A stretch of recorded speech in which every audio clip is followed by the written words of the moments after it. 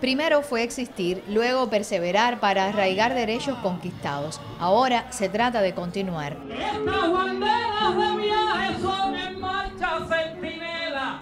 Estas banderas de viaje son en marcha centinela.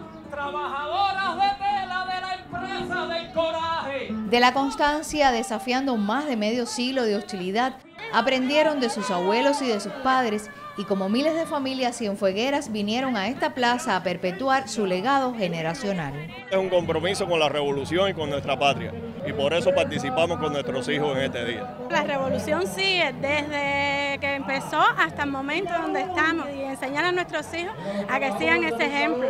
Hay que sembrar en ellos lo mismo que sembraron en nosotros y seguir. Yo sé que aprendo nuevas cosas con cada desfile. Me siento feliz con mi hermano y con mi familia. Y Leo, nosotros dos somos Fidel.